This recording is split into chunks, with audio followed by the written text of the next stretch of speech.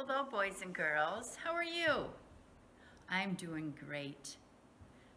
Wait, where where are you? I I'm sorry, but I I can't I can't see you because I've got this eye mask on.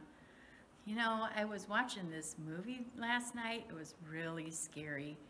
It was about spiders in a cave. I hate spiders. And I got up the next morning and I was I was scared. Everything I would see had spiders. I mean, under my bed, in my car, everywhere I looked, I could see them and I was it was really getting hard covering my eyes. So I put this mask on. And I, I thought it was a great idea that I can't see. Don't you? No, you don't think it's very good? Yeah, well, you know, probably isn't a very good idea. I did kind of run into walls like three times already today. So maybe, maybe I should just take this mask off. Oh, that's so much better.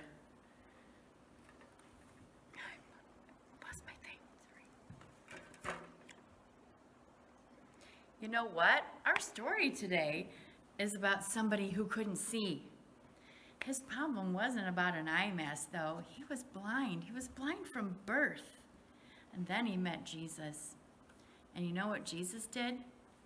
He took some mud and he spit on it and he rubbed it on this man's eyes. And then he told the man to go down to this special place and wash his eyes. And you know what? He could see again. He was, wasn't blind anymore. There was a sad thing about it too. There was a bunch of people, they were really upset with Jesus because you know what happened? He healed this man on a Sabbath day. And that was against their laws to do work on a Sabbath day. So they were afraid if they agreed with Jesus and that it was okay that they be going against their law. So you know what they did?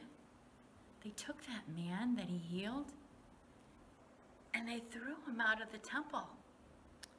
All because they were afraid.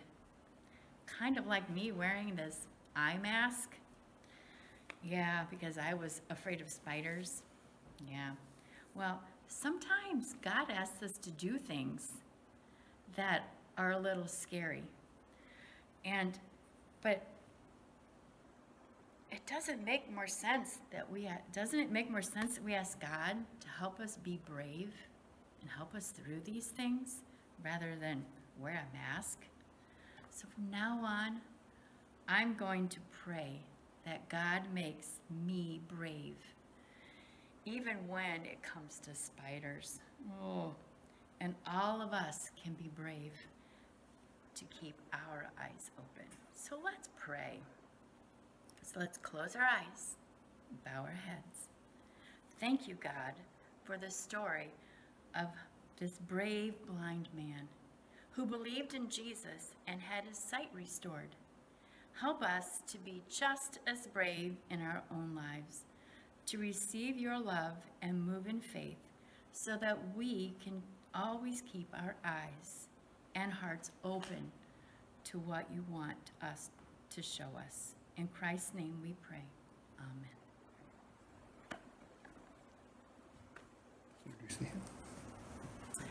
Our hymn today is Now Jesus Loves Me, number 595.